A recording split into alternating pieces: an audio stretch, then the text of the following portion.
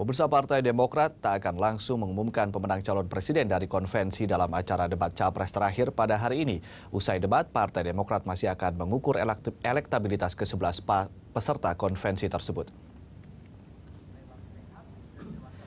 Setelah ke-11 capres peserta konvensi menyampaikan visi misinya dalam debat kenegaraan yang membahas tentang ekonomi, politik, dan hukum, acara kemudian ditutup dengan pidato dari Ketua Umum Partai Demokrat Susilo Bambang Yudhoyono.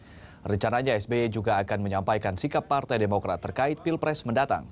Kegiatan ini merupakan rangkaian terakhir dari debat kenegaraan yang dilakukan konvensi Partai Demokrat setelah debat yang dilakukan di kota-kota besar di Indonesia.